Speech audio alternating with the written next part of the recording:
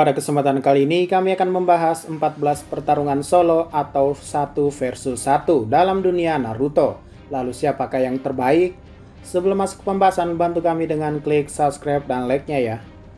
Oke, jadi mari kita mulai saja pembahasannya. 1. Minato versus Obito.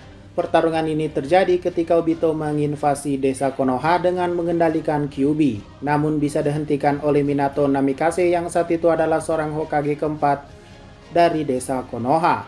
Dalam pertarungan ini, siapa yang cepat dialah yang menang. Dan terbukti, Minato dapat membaca serangan Obito hanya dengan sekali analisa.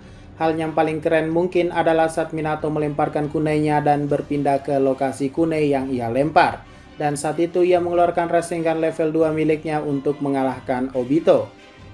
2. Naruto versus Sasuke Pertarungan antar kedua rival ini sudah sering terjadi, mulai saat mereka masih kecil hingga mereka dewasa. Jadi kita bahas saja pas sudah dewasanya. Saat itu kita disuguhkan oleh pertarungan tangan kosong yang sangat epik. Lalu jutsu andalan mereka, sampai bentuk pertahanan terkuat mereka saling beradu serangan. Bahkan serangan terkuat yang mereka miliki saat itu cukup membuat dunia shinobi terguncang Hal menariknya dari pertarungan ini adalah walau sudah babak belur tidak ada satupun di antara mereka yang ingin mengalah dan ujung-ujungnya menggunakan jutsu andalan mereka yaitu Rasengan dan Chidori untuk mengakhiri pertarungan. 3. Kakashi versus Obito Pertarungan tanpa banyak bicara, inilah yang diperlihatkan saat Kakashi menghadapi Obito di dimensi Kamui. Mulai dari pertarungan tangan kosong, penggunaan senjata yang sangat elegan dan jutsu simple yang saling mengecoh lawannya hingga diakhiri oleh serangan untuk menusuk tubuh lawannya. Apalagi pertarungan ini diselingi oleh pertarungan mereka saat masih kecil dengan gerakan yang hampir sama. 4.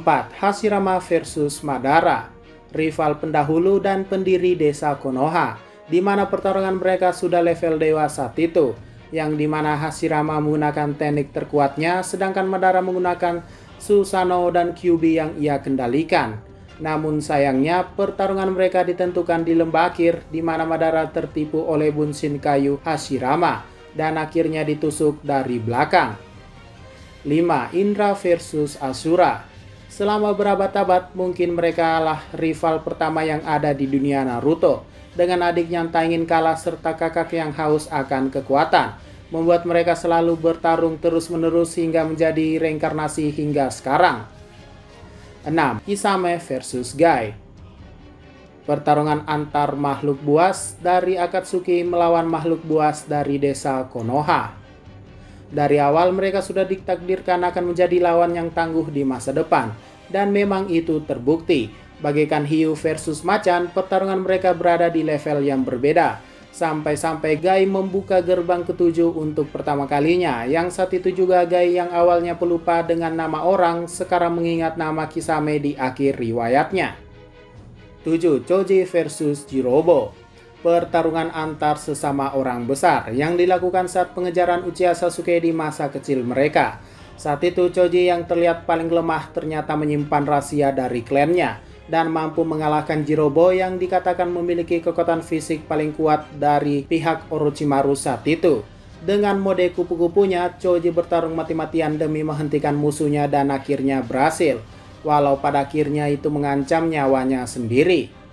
8. Neji versus Kidomaru pertarungan dengan perhitungan yang sangat tepat. Itulah yang diperlihatkan saat itu. Gidomaru merupakan musuh alami Neji saat itu yang bisa menemukan titik lemah dari kemampuan mata Byakugan milik klan Yuga. Tapi walaupun begitu, Neji dengan kejeniusannya mampu mengatasi kelemahannya dan mengalahkan sang ahli panah saat itu. 9. Sasuke versus Itachi pertarungan antar kakak dan adik yang sejak dulu sudah dinantikan oleh Sasuke untuk membalaskan dendam ayah ibunya serta klannya. Dimulai dari Shin Genjutsu, tangan kosong bahkan jutsu-jutsu terlarang seperti Amaterasu, Kirin, dan Susanoo. Pertarungan yang sangat hebat yang dapat menghancurkan bangunan di sekitarnya membuat kedua orang ini memiliki level yang jauh berbeda. Walau diakhiri dengan kematian Itachi, Sasuke dinyatakan menang saat itu. 10. Naruto versus Neji Pertarungan pertama dari ujian Chunin saat itu. Salah satu pertarungan yang dikatakan berat sebelah karena Naruto terkenal lemah saat masih di akademi, sedangkan Neji adalah ninja unggulan dan terkuat di klan juga pada masa mudanya. Tapi siapa sangka walau kalah jenius Naruto mampu mengalahkan Neji dengan trik Kage Bunshin-nya. Yang saat itu Neji benar-benar dibuat sadar oleh Naruto saat itu. 11. Gara versus Sasuke Pertarungan terakhir dari ujian Chunin sebelum penyerangan Orochimaru Pertahanan absolut versus serangan terkuat. Siapa sangka Sasuke di bawah bimbingan Kakashi mampu melesatkan serangan Chidorinya ke pertahanan absolut Gara sampai-sampai Gara terluka untuk pertama kalinya. 12. Lee versus Gara Pertarungan yang sangat mendebarkan. Gara yang dikatakan manusia terkuat dari Sunagakure melawan ahli Taijutsu murid dari Maitogai Awalnya memang terlihat berat sebelah karena Lee sama sekali tak bisa melukai tubuh Gara karena pertahanan pasirnya. Namun semakin seru ketika Lee membuka gerbang dan melakukan amukan kepada Gara. Tapi walaupun begitu, Lee tetap saja tak bisa mengalahkan Gara dan membuat kakinya terluka saat itu. 13. Shikamaru versus Temari Pertarungan dengan akal, Shikamaru yang dikatakan memiliki otak jenius di antara teman-temannya dan ahli dalam strategi, mampu membuat Temari yang juga ahli analisis dibuat bingung olehnya. Walaupun Shikamaru berhasil menjebak Temari dan masuk dalam perangkapnya, tetap saja Shikamaru mengaku kalah karena ia tak punya kekuatan lagi untuk melanjutkan. 14. Sasori versus Kangkuro Sasori sang master boneka dan pembuat boneka melawan Kangkuro yang di mana Kangkuro menggunakan bonekanya sendiri. Ini adalah pertarungan yang jelas berat sebelah. Ya wajar karena Kang Kuro belum tahu lawannya. Dengan segala kemampuan, Sasori mampu mematahkan semua serangan boneka Kang Kuro karena sudah tahu kelemahannya dari setiap bonekanya dan membiarkan Kang Kuro mati dari racun miliknya. Oke, mungkin itu saja 14 pertarungan satu versus satu yang terjadi dalam dunia Naruto. Jika ada tambahan nantinya, kami akan membuatkan bagian 2 atau part 2-nya.